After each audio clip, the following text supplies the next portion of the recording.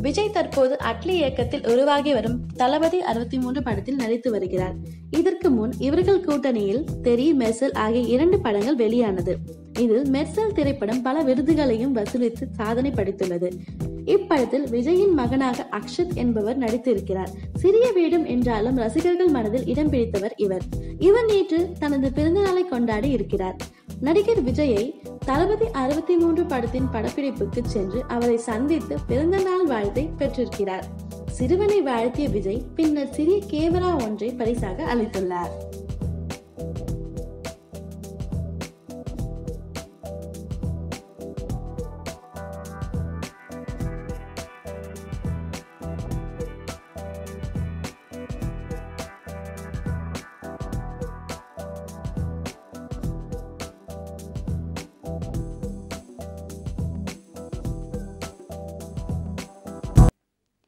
viewers உங்களுடைய boring டைமை என்டர்டைன்மெண்ட்டாக மாற்றுறதுக்கு மறக்காமல் தமிழ் காசிப் சேனலை சப்ஸ்கிரைப் பண்ணுங்கள்